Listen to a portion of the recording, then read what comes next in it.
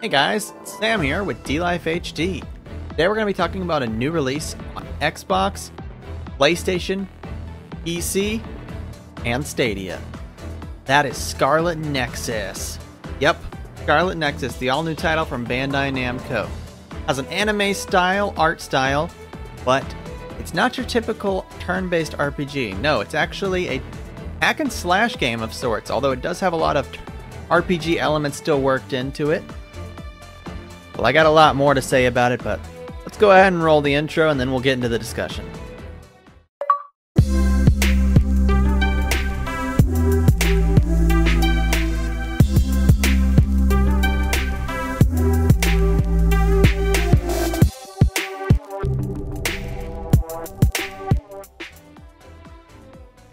Alright, so I've had the chance to play Scarlet Nexus.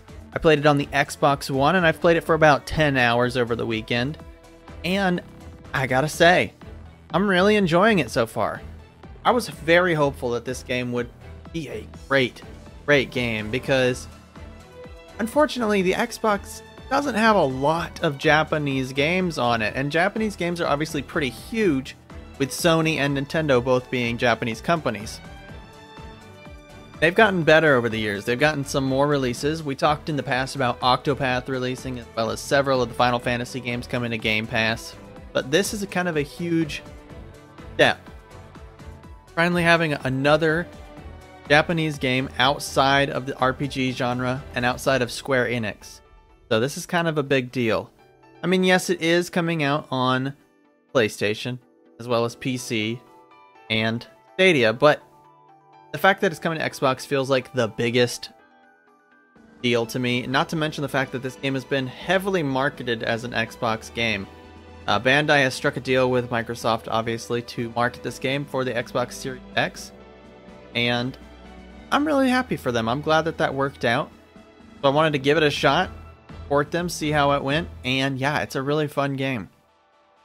So this game, let's talk about the story just to help you understand like what kind of world you're going to be stepping into if you decide to play it.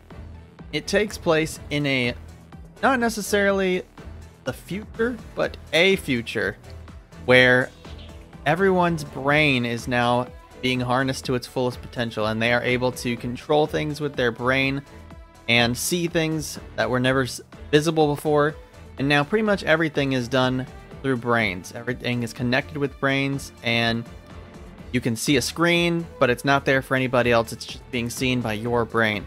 Now, some people uh, have special abilities that they've harnessed their brain, and that includes either of the main characters that you pick with the power to use psychokinesis, which lets them just chuck stuff around with their mind.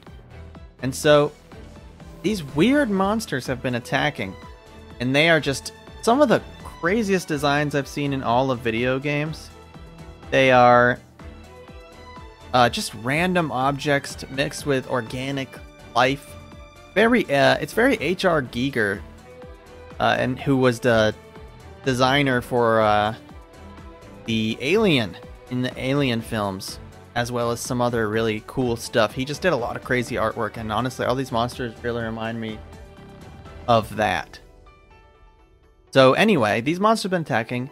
You have just joined a group called the OSF, and their mission is to fight the others, as the monsters are called. So you step into the shoes of one of two characters, and yes, their stories are separate, and you get to choose which one you want to see first. You get to step into their shoes and fight with weapons and psychokinesis. So you'll be going in with either swords or knives, swinging, getting up close, and then stepping back and throwing things everywhere from chairs to cars. You can even do these really, really crazy attacks where you'll like pull down stuff in the environment like a wrecking ball or telephone poles, and it's really cool. So the combat, if you've ever played like a Dynasty Warriors game, the combat feels pretty similar where you have your light attacks and your heavy attacks.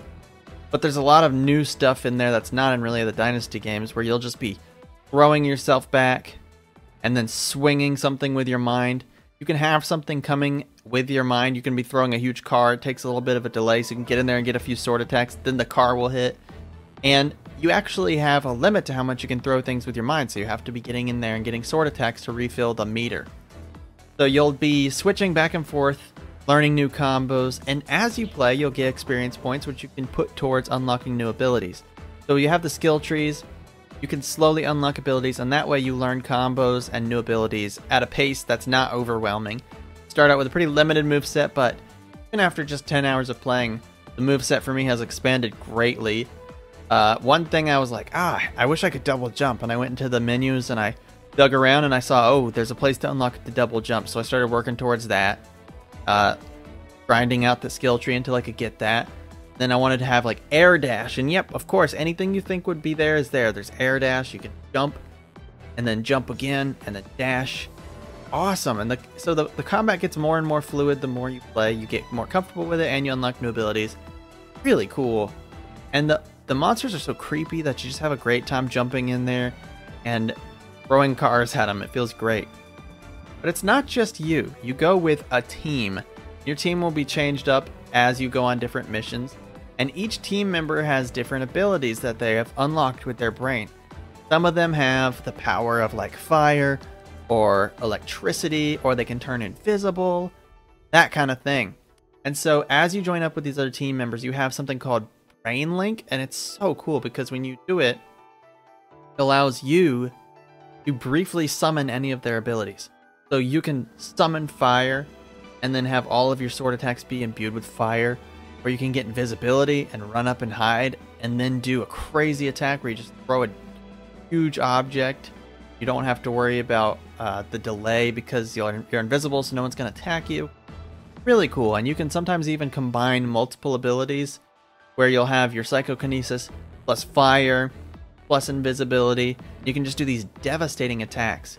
Now, one of the coolest things in the game is that it is extremely stylish. Every time you do a finisher, the camera will cut away and it will show it in just all of the anime art style and uh, fluidity that you would expect from the way that the game looks.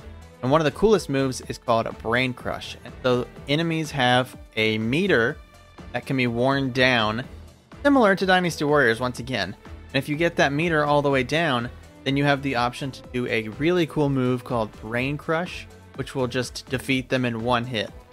Now, a lot of times you'll actually defeat enemies before you even get their meter down. So, on the occasion that you have a harder enemy and you're just fighting and fighting and you get that meter down, then you can do the Brain Crush and it is so cool. Sometimes you can do it on multiple enemies at once. There are just so many options with the combat, but the whole time you're going to feel super cool and even if you're not super familiar with this style of gameplay, the game will still make you feel like you're doing good.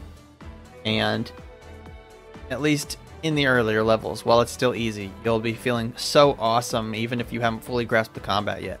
Really, really cool. Alright, I wish I could talk more about the combat, but if we ever go into our full review, I'll definitely talk about that. This is just kind of my initial impressions. So I'll move on. We'll talk about the story. Obviously, I can't go super in depth because I haven't covered much of the story yet, and I've only played from one perspective. But story is very enjoyable, at least from a presentation standpoint. The cutscenes are a little different than you might expect, and depending on how you feel about it, they might feel cheap or cool. It just depends on what you what you think. They are very stylized, so sometimes characters will be walking around and then they'll freeze frame, and the little cutouts will just like shrink down, and another cutout will pop up, and then it will unfreeze, and it'll show them keep walking. It's very stylized, similar to something like Persona 5's presentation, where it has like that very, just like hyper stylized presentation. Um, but it kind of reminds me a little bit of also the presentation in story scenes of Fire Emblem Three Houses, where you had the character models combined with the character portraits. It's uh, similar to that, but that's not quite the same. So you'd have to kind of see it for yourself. Maybe go look up a cutscene or something if you want to see what that's like. I have some people have said that it's like a huge thing they just can't stand. So if you're going to be playing this like 80 hour game, you might want to look that up first. Another thing to note, unfortunately, at least in, just in my case, and I haven't heard anyone else say anything about this online, but just in my case, playing it on the Xbox One, uh, all the cutscenes were very, very laggy for me. And I tried uninstalling and reinstalling and trying it again, and they were still very laggy. And it was the same in the demo version, so I'm not sure what the issue is there. I think that's probably just a side effect of playing it on the last gen hardware, but it doesn't seem like it should be a very demanding game. And it seems odd that the battles go on without a hitch, but then the cutscenes are the ones that get so dragged down by poor performance.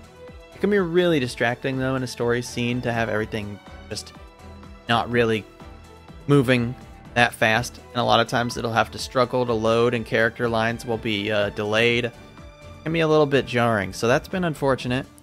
Hopefully, it gets patched out, and I really hope other players are discovering this because I have been going insane trying to look online and see if anyone else is experiencing this.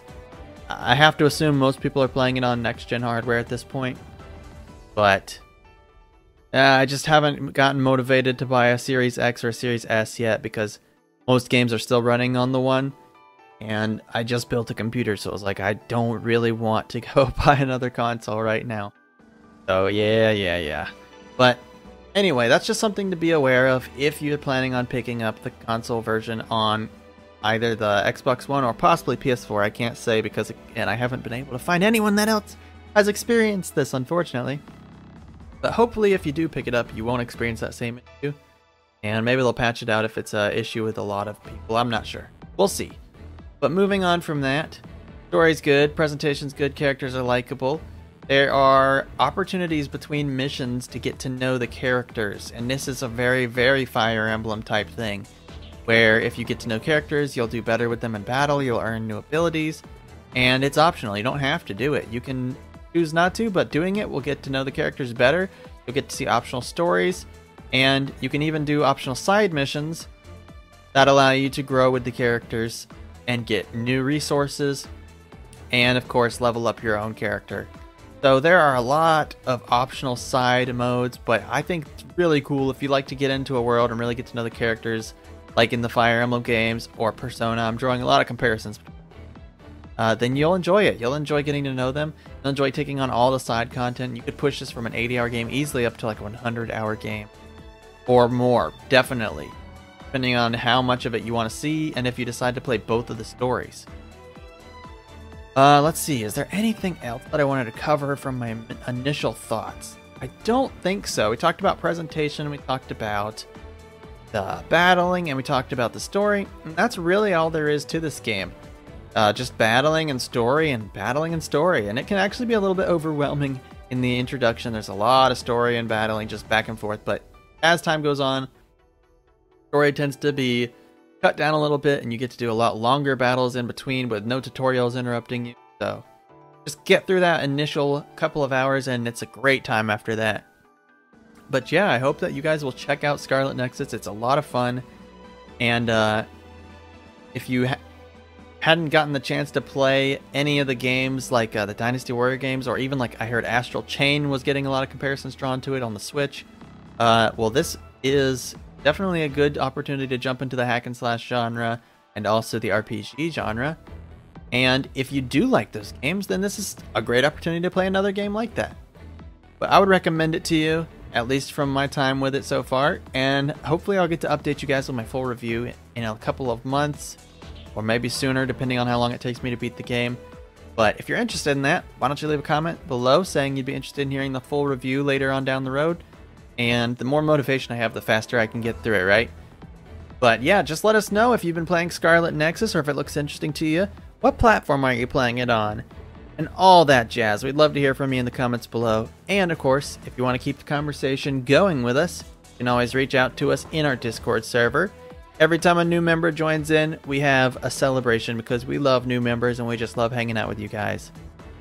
Be sure and follow our Twitter account also for news and gameplay on the latest releases. And until next time, guys, the most important thing you can do is always stay one up. We'll see you next time.